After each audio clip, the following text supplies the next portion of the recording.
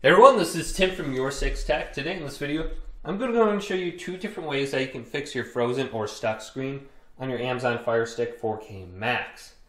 Now, on this screen, we want to go to our remote, and then we want to hold down two buttons. We want to hold down the play button, and then the middle button right here. So the play button and the middle button.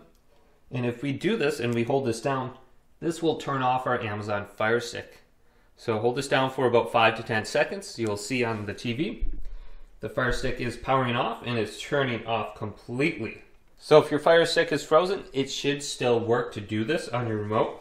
Now if it's not restarting when you press the two buttons on the remote, go to the back of the TV and find the power source for the Amazon Fire Stick. It could be directly connected to like a USB slot on the TV or it could be connected to the wall like, like this. Just simply unplug it and plug it back in.